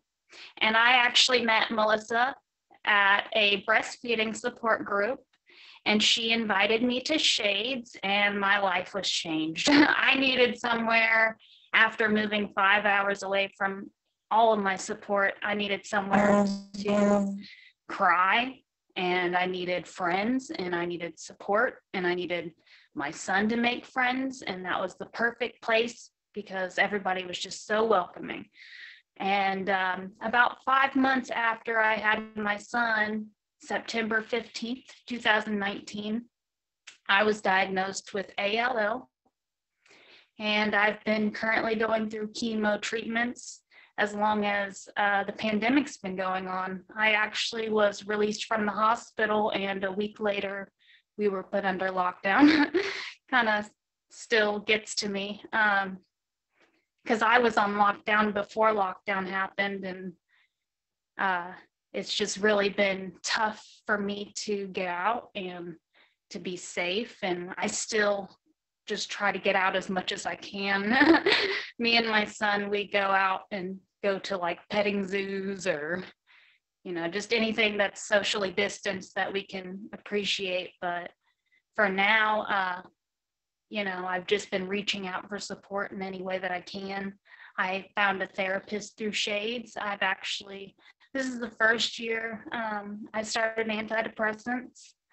I have been uh, depressed since high school, always um, suicidal, actually put on suicidal watch list. and uh, I think this cancer treatment was the first time I ever came out of that and felt like I had a reason to live, just kind of raising my son, being a stay at home mom. It's really been such a blessing um, in disguise. I mean, it's been stressful, and we have our times where I have to walk away, I have to close the door, but we uh, we just currently um, became homeless. We are staying in a shelter. Um, I have been homeless for about 20 days now, and we are hopeful that we're going to find the place of our dreams. Um, I've had plenty of, you know, fish biting at the hook, so hopefully something comes out and there's a miracle. I'm really hoping. Uh, but for now, we're safe in the shelter and we have a ton of support, and we really couldn't ask for more. we have a roof over our heads and we don't fight as much as we did in the old house. So I think things are turning peaceful and pandemic really brought out a side of my ex that was not great and he didn't reach out for help and I think that's really where the issue lies and I think if more people were to explain their stories and reach out and ask for help, I think we'd all be better off. I think you hit you got that one right there, Chelsea. That's why I'm so grateful that you are all sharing. Thank you so much for sharing all the parts of your story. There's lots of hard stuff there. How how do you think you've stayed so positive with all the things that have been thrown at you or how do you think you've stayed resilient? Um, I've been very positive with him being around. Um, I I actually was filling out custody paperwork and it said, you know, how many overnights do you get? And I said 365. you know, I don't I don't get a day off. But that's okay because that smile keeps me going. Yeah. I mean, and it, he's just now getting to the point where he'll come up and kiss me, hug me. Yeah. And he knows I'm upset. So just having that support has been great. I know it's not a lot, but um, your smiles yeah. are absolutely gorgeous. They are so healthy and happy. And I know our community has really been pulling for that. Um, but you certainly have been through a lot of things, pandemic being one, and lots of other ones layered on top of that. Yeah. Yeah, yeah, definitely. Yeah. And I think it's uh I think what keeps me going is honestly my friends and the just the support I get through the community, not only through shades, but there's a lot of uh different people like um Willow Tree and I would say the Fledge and just a lot of other groups. I think moving to Lansing, I really have more resources than I would have had in my hometown. Um, my hometown was just really small. Um, just for instance, like uh, car seat safety, that is not a thing where I'm from. So uh, moving here, it really opened my eyes and I can now tell my friends back at home, you know, hey, loosen up that belt or tighten that up. Or, you know, just little things like that have been a big source of my smile, I guess. Education wise. So I hear you say the importance of reaching out. And I think that was such a important thing that you said because during the pandemic, we're all in our homes. We're all trying to keep our babies safe and our kids do what they need to do. We're all trying to function in the way that we can. But there was a world still out there. It was just hard to remember or to feel. Um, so reaching out to community resources, reaching out to therapists, our doctors, our local support groups, the virtual resources. I hear that is something that was really positive for you. Yeah, I actually I used to have a lot of issues reaching out and asking for help. But recently, being a disabled homeless mother, single mother, I've had to resort to help. I mean, I I rely on it, so I yeah. think uh, everybody deserves help. so don't be ashamed if you have to ask for it. I think that's a wonderful message. I think you certainly showed how to make some lemonade, girl. You are doing it. And the idea that everybody deserves help is such a great thing. So I really appreciate I get a lot that. of people who I get a lot of people who think, you know, I can't complain to you because I'm not going through something as rough as you. And that, that's that's load yeah. I think that that's what we've learned during this time here. Um, I think, you know, that every single family has gone through their own story during this time. And we're all just getting a peek into what those stories look like. Um, and so everybody's story is valuable and important. Everybody has been through different layers of stress. Um, does any do any of you want to comment further on things that worked well for you during the pandemic? What you found that helped you kind of walk through some of these issues, or anything at all that you want to share?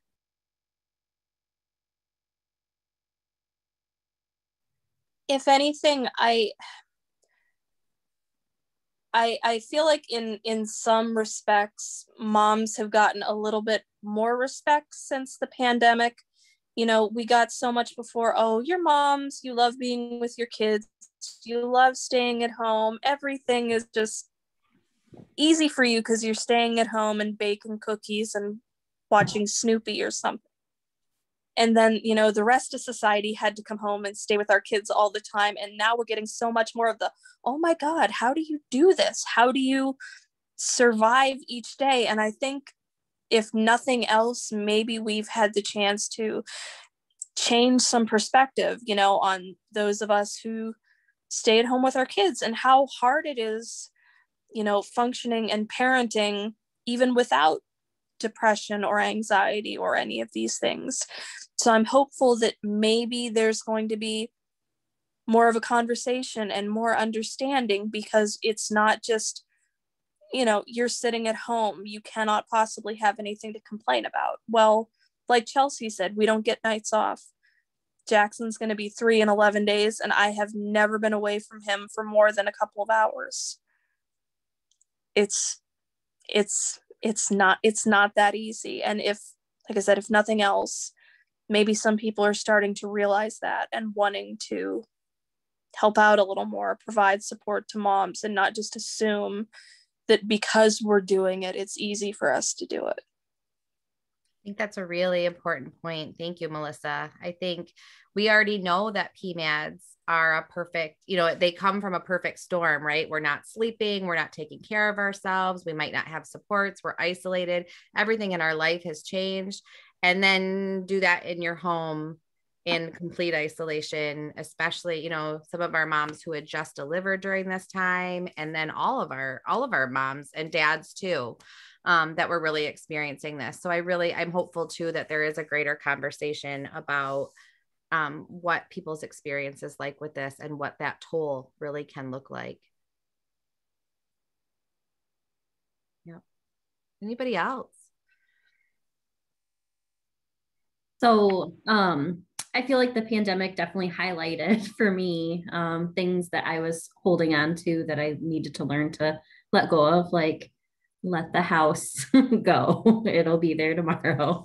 Um, obviously, we've all been stuck in home staring at all corners of our house. So that has been something that got better for me, honestly, during the pandemic. My house is a disaster, but um, just being able to prioritize and what are the things that are truly important right then? Because at in the beginning no one was in a rush to go anywhere or do anything. So what really did you need to be doing right then and there? So that was something. Also grocery delivery services are amazing if you're able to do them especially when Meijer does their free uh grocery. Doing a plug there. Um but like little things there's also been those types of things that have popped up um, different delivery services especially if they're waiving the fees like that has been very helpful for us too. And i'm a very good online shopper now.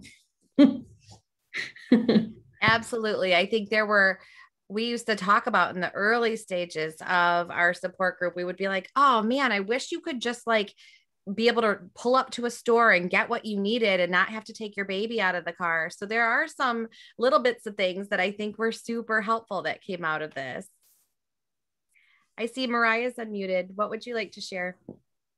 Yeah, I was going to say, I think the, the biggest thing that helped me was um, our local support group and having um, moms around you that are going through the same thing because really no one can truly understand having a baby in the middle of a pandemic unless you're doing it. and um, so I think that was one of the biggest things that helped me. I think it's such a very, very good point. We talk a lot about, you know, treatment being that three legged stool. You know, sometimes it's medication, sometimes it's therapy, and sometimes it's a support group, but really all three gives you that you know that firm footing. And i noticed in the chat here um, that there's some links to there's tons of online support groups through psi michigan for even very specific things. If you have certain specific topics there's a whole list. I love that mariah you found your group in bronson. Um, i love i love love love the women in my group. You know that. I tell you guys all the time um, and we have in Michigan lots, I don't know what the number is, but we have lots of area support groups. So, um, really, oh, there are nine Michigan State coordinators. So I see that in the chat. And you can reach out to any of them to find the most local resources. Most of the PSI resources have gone online. Um, I know our our particular group went online within a week of this happening, and that was something that we were all very grateful for. Um, so there's lots of good supports out there. So I, I, really appreciate Mariah that you highlighted that and the need for that. Um, and if you know people who are struggling, encourage them to reach out to PSI Michigan. There is someone who will be available to help. And 13 Michigan support groups. I wondered, that's that's a pretty good amount. Okay. Anything else that someone wants to share or questions that we might have? Kirsten, Christina. Yes, thank you. This is Christina. Um, I just, first of all, thank you all for sharing your stories. I love my mamas and support group so much. So, Kirsten, I completely understand what you're saying. It's the highlight of my week.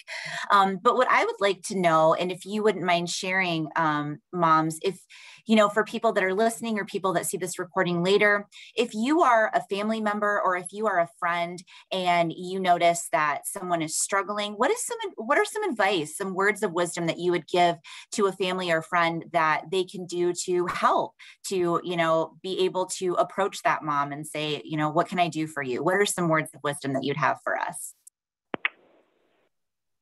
Christina, I think that's a great question. Um, I think what, what initially came to my head was acknowledge because I feel like everyone knew um, or had a hunch, you know, that this was hard, that you're struggling, but no one acknowledged that um, this is hard and you're not okay and what can we do to help. Instead, it was kind of just um, not swept under the rug, but but kind of a blind eye to. Um, so I, I really think from family and friends to just to acknowledge and um, reach out that you may be struggling. I think that's such a wise thing, Mariah. Just that word acknowledge. Anytime we connect and acknowledge, that is so meaningful. Thank you for sharing that. Anybody else? No, I was gonna say to give give the mother attention before you give the baby attention instead of immediately let me hold the baby. Mm-hmm. No, um, how are you doing, hun? You know, place your hand on your shoulder, give her some physical contact if you if you can, social, you know, safely, if you've been vaccinated. But um, you know, just reach out to the person and and you know, ask them how how are you doing? How are you handling this? How are you coping? and you know sometimes they'll open up and try to offer instead of saying what can i do for you say well why don't i buy you a meal why don't i why don't i you know help you clean up your living room a little bit you know i'll, I'll do a load of laundry for you you know just sometimes moms have a hard time asking for help so sometimes they need mm-hmm. it they need it offered instead of asked for it's piggybacking off what Sasha's saying right there. It's people are so willing to, you know, ask, oh, do you want me to do X or Y? And even when you're in the depths of that, as worse as it is, it is so hard to say, yeah, that would be that would be amazing. Um, I can't remember where I saw the post, but there was this wonderful list of ways to respond to a new mom.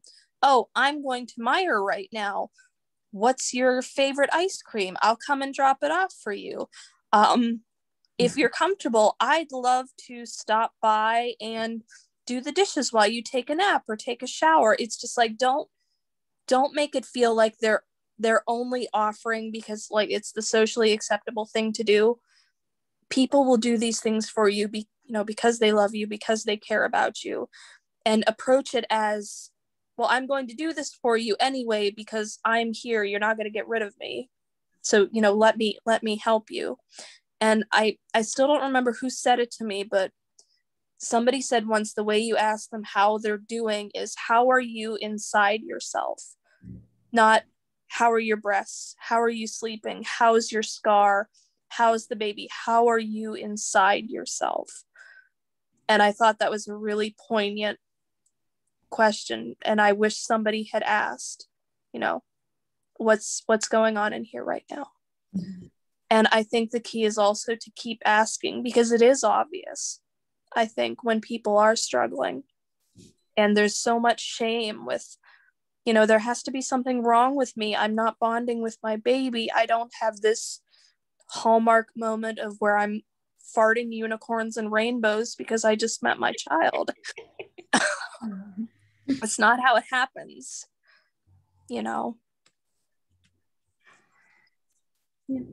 I just um, wanted to say the same of what Melissa was saying as well. I I try with my recent friends and family that have had babies just to say, I'm free this Wednesday afternoon and Friday afternoon. Which day do you want me to come over? Or what day can I um, bring you something? The best thing that somebody ever did to me when I had a baby, a newborn, was bring me a left me a cooler worth of frozen burritos that they had made on my doorstep and just said, These are going to be easy for you to make one handed. I know you're breastfeeding. I know you're going to be starving. You know, here's food for you. I'll give you more if you need it. And then they would, they came back a month later with a, like a bucket of soup or something. And That's it was just, awesome. And it's been something that I just now try to do as many times as I can for somebody else because even just the simple things of like going to the bathroom and eating become in- intensely difficult. Um, and I also just make it a point to say to friends, family, and patients of mine, like, it's okay to not feel okay. And one of the best days I had as a provider was somebody coming back or talking to me at a later visit and saying, You're the first person that said it was okay to not feel good about being a mom. And it honestly like changed how I talk to people. Really, really good points. Yep. I also have, once I got through my own depression and I was feeling better on the other side of it, I had a really hard time reaching out to people. And that is something that I have now that I'm better um, trying to do, even if it's just a message and then i'm setting up that expectation i'm going to check on you next week you know just so that they know that someone's there you know even if they don't ask for anything or i'm not even able to do anything big just knowing that they can message you is huge yeah, I think that is such a good thing to also talk about what it, you know, we talk about that 2020 hindsight when you can look back and you can say, this is what it was like for me in it. But now that I'm a little bit to the other side, mm-hmm. here's what I can share and offer in a different way. Mm-hmm. Um, we talk a lot in our group about moms are sometimes the wrapper and the baby's the candy, and that doesn't feel so good. Um, and so reminding our moms that they are not the wrapper, that they are the candy as well. And I love the idea of the burritos and the food and the is that our Bridget that said that? Oh, hello, Bridget. Hi, That's so exciting. I, got, I, I didn't recognize that that was who you were. um, you know, I love the idea of really thinking about who the mom is and what she could really use. And so, like, you know, as Sasha and many of you have said, like, here's, you know, here's a way to offer in a way that can be accepted. Kirsten, I think that was such a um, great analogy. The you know moms are not a wrapper because um, my I that was a big struggle my postpartum. People wanted to help by coming over to just hold the baby, and yeah. um, what I I wanted to hold my baby and relax, you know, and and someone else helped me do the do the housework, and and it does just feel like you're the barrier in between the yep. the baby and who wants to come see him. I really hope Mariah that you will take that with you into this next pregnancy. You have that kind of hindsight knowledge too. And Um, I often tell my moms I had a December 20th baby and he went to the NICU and he came home on Christmas Eve. And oh, did everybody just want to hold that baby and look at that baby? And I was like, wait a minute, I haven't held him for four days. I'm not serving anyone else coffee. I'm not getting anybody else something to eat. I would like to hold my baby and y'all can fend for yourself, right? um and and so often people forget about that. So I'm really happy Mariah that you hopefully will take that with you into this next opportunity because you get to sit and hold your baby. You don't have to take care of anybody else. Right. Yep. Y'all are pretty special wrappers, I think. That's what I think for sure. We've got a couple minutes left. Do we have other questions or other things that we want to say?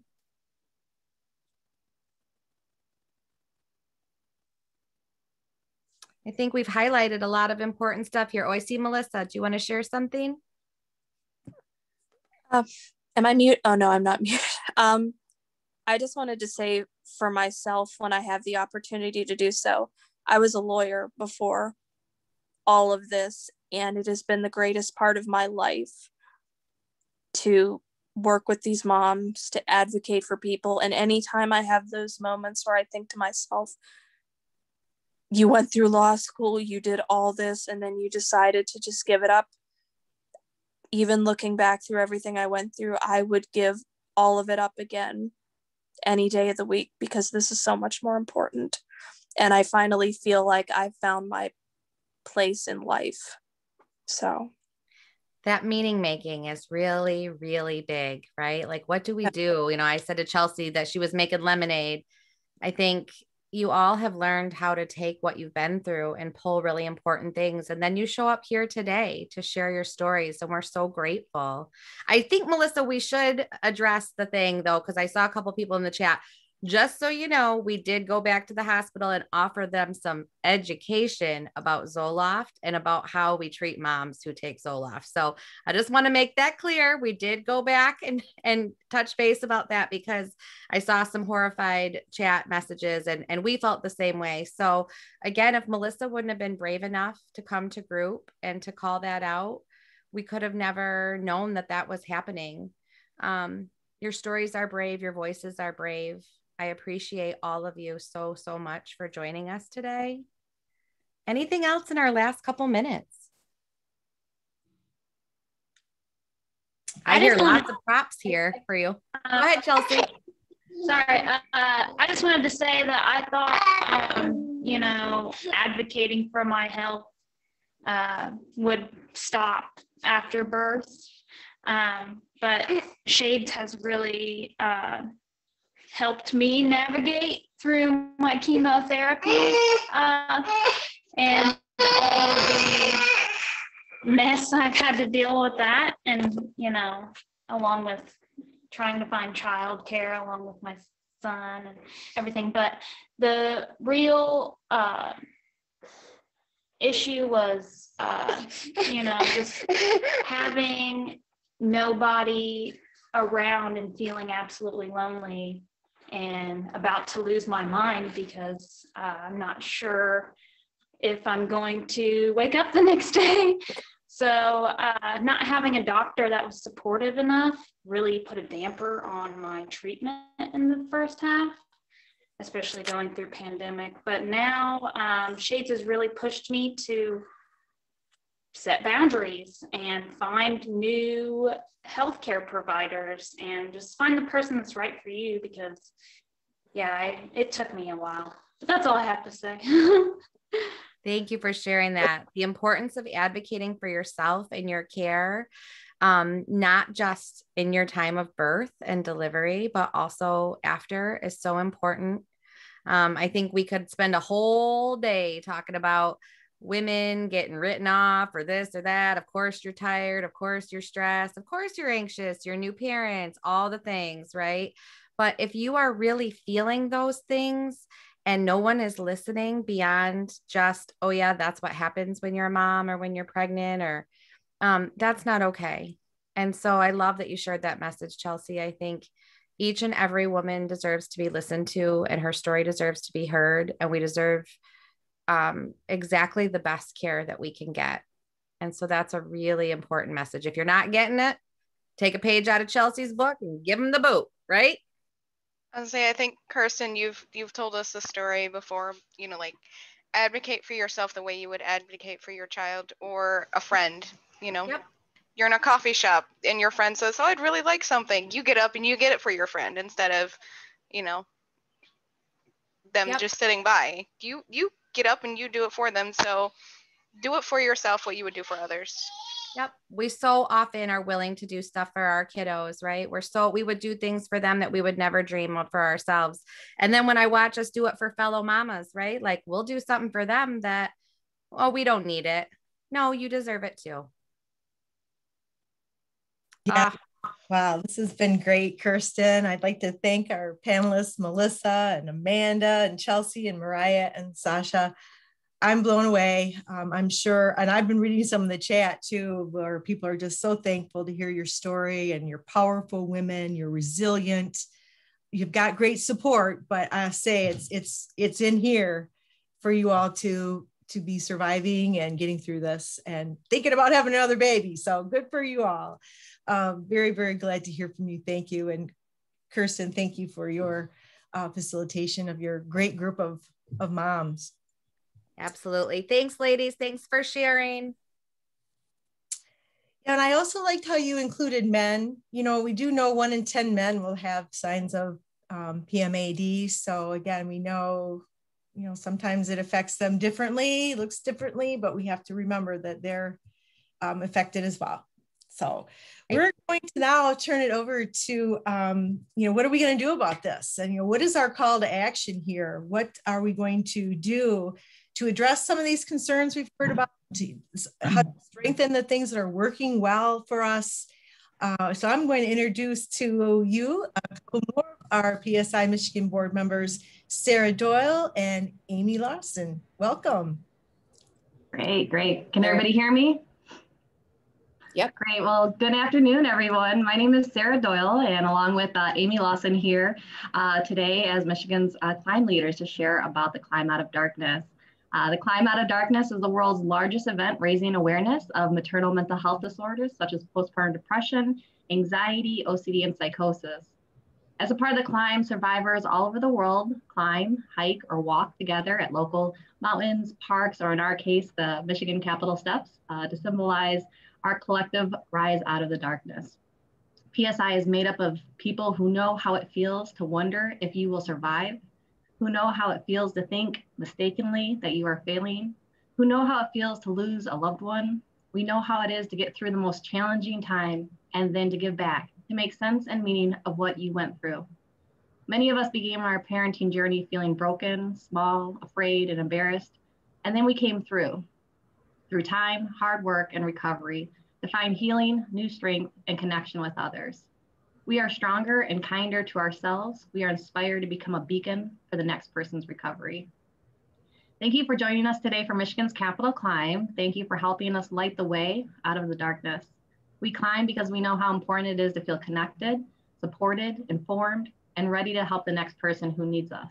We climb because it saves lives. We climb because of you.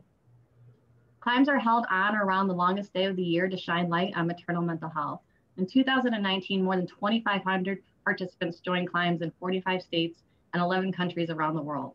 In 2020, despite most teams being three or four months into the planning, the climb was taken online, with all events and fundraising happening virtually.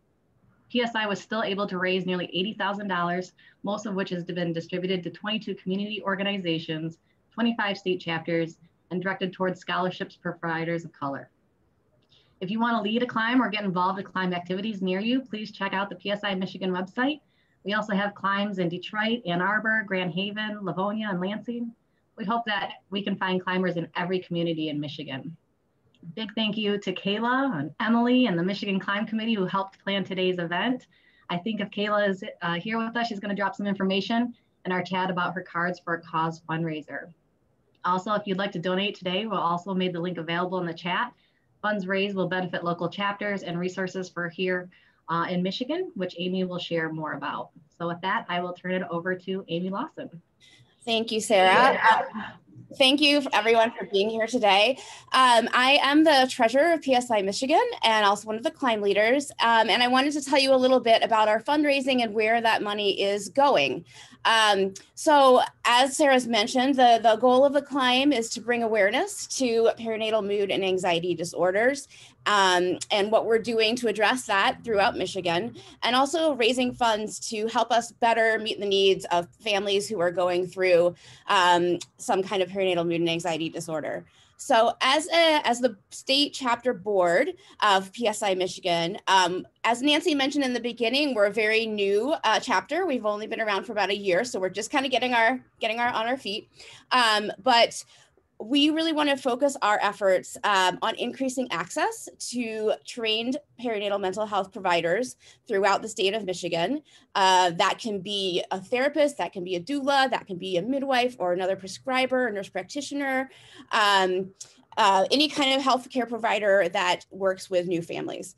Um, and so the way that we have um, decided to try to increase access is to provide scholarships for providers who may not be trained in uh, perinatal mental health um, and anxiety disorders to attend um, postpartum support international trainings so that they can learn more um, and be available in their communities to provide those services to families.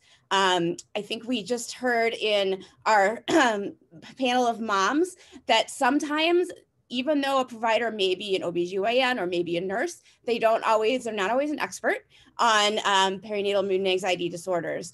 Um, and unfortunately, we know all too well that many moms um, encounter treatment that is actually contrary to our uh, evidence-based uh, knowledge about how to best treat perinatal mood and anxiety disorders.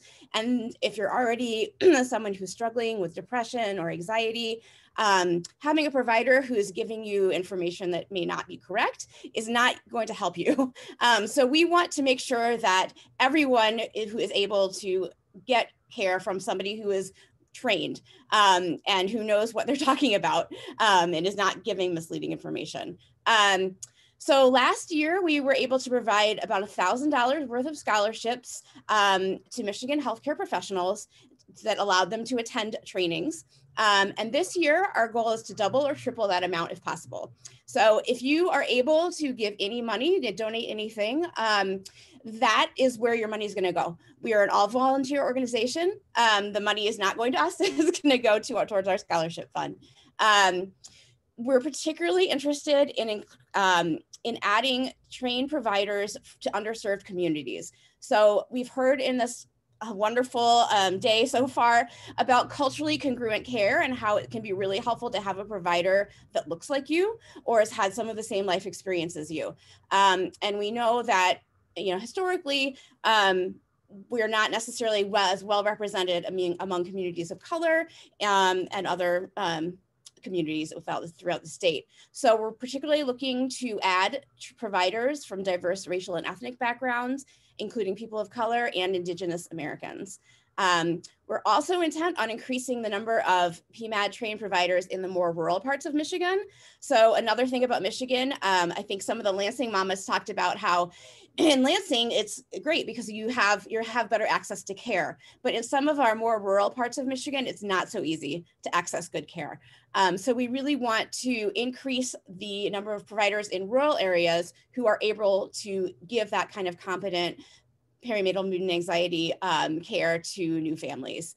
Um, if you're a provider and you would like to become um, more culturally competent or more competent in PMAD um, provision, we also encourage you to apply for our scholarships. Um, we will have information on that, I think, in the chat and how to apply, or you can go to our chapter website and there's an uh, form there. Um, and we can link you to lots of training opportunities. So if, if you live in an area where there aren't a lot of providers and you, you know, would like there to be, let us know and let us know who we can reach out to. Um, what healthcare systems or people can we reach out to in that area? Um, so that's our, our basic fundraising goal. Um, I just also wanted to mention a couple things about some of the services we do have in Michigan through Postpartum Support International. Um, so I believe earlier, um, a little bit earlier, Nancy put some resources in the chat uh, box for us that are postpartum support international resources. So we've got, um, there's a helpline. I know that Nancy put the number in there um, for both English and Spanish speakers. Um, you can call or text the helpline. That's for anyone who might just need to chat. It's not a emergency crisis line. Um, it's a warm line, but you can call and chat with someone um, there. If you're wanting to just kind of can make a connection and maybe get some resources. Most, um, in most cases, if you talk to a helpline volunteer, they will refer you to um, a local support coordinator that is in your state. Um, and as Nancy mentioned earlier, we have about 10 support coordinators throughout the state of Michigan. We've just added one in Northern Michigan in the last week or so, two weeks. Um, so we have about 10 support coordinators that are spread throughout the state. Um, and these are all volunteers. Um, I happen to be one of them. Um, we, uh, so as coordinators, we provide people who are looking for resources with a link to that resource. So if you're looking for a therapist, if you're looking for somebody who can prescribe medication, if you're looking for lactation support, if you're looking for a doula, um, we can help to connect you with local resources. We kind of try to keep up to date on the resources in our area. Um, so you can, again, access your that support coordinator by going through the helpline. You can also go on the PSI website and under the Get Help tab, um, there's a link to PSI coordinators and finding your support coordinator there. Um, and then the last thing I just wanted to uh, let you know about is the PSI directory of providers. This is a relatively recent, it's a little, a little over a year, maybe two years old now. Um, but this, this directory, which we will have the link to in the chat, is a directory of um, providers that's vetted by Postpartum Support International. Um, so in unlike some other provider directories where somebody might just check a box to say, oh yeah, I work with pregnant and parenting people. Um, to get onto the PSI provider website uh, directory, you have to have shown that you've actually gone through trainings and are educated um, about PMADs. Um, so you can go on the directory yourself if you want to. Um, you can search by location, by name, by specialty, and find a provider in your area. And you can also further filter by things like insurance type or sliding scale um, or items like that. So those are just some of the services that we have through Postpartum Support International and through our local Michigan State chapter. Um, and again, if you have, if you are able to donate to us, we would love it. If you would like to become involved, reach out in another way, um, reach out and we'd be glad to talk to you. Wow, that is excellent. There's so much that's done with the dollars that are raised to help women across our state of Michigan uh, and fathers. Yeah, we do have a, a, piece there too. I just think it's wonderful what we have and encourage you to catch on to those links that have been put into the chat uh, for that further further connections. So thank you both, Sarah and Amy. Um, it does take a committed group of people to pull off something like this uh, that we've done. And so I would like just to make a few shout outs of thanks to folks that have um, kind of been working behind the scenes. Uh, one of them is um, Danielle Gordon, who's been our tech person today. We haven't really seen her, but uh, she's been helping us with the Facebook connection and Zoom and PowerPoints and all that. So thank you very much, Danielle. And then I also like to recognize uh, Sarah Doyle for your leadership in this campaign for the Capitol Walk, uh, climb, excuse me, it's the climb, and all the leadership you've given us to, to make this uh, a successful day. And then um, lastly, I'd just like to thank all of our board members who have um, joined us today and encourage all to um, spread the word, keep the word going uh, for moms and for families. So we're um, time to walk. It's time to walk. And on behalf of the Michigan PSI board, I invite you to take a walk around the block. Maybe you want to walk some of your stairs. Uh, maybe get on the trampoline and jump on the trampoline if you have that. But just get out, take in the sun, take in the fresh air, and think about what we've learned today from all of us that have um, shared our stories. And take that walk and see if there's more we can do to help moms and families and babies uh, be sure to take a picture of yourself during the climb too and post it to our Facebook page. We'd love to see the various folks out climbing uh, in support of maternal mental health. So to help motivate you, we would like to, uh, again, show you the PSI mom video that was created during COVID times. And uh, as we finish out this, just again, thank you for being here. And we encourage you to get out there and walk, climb.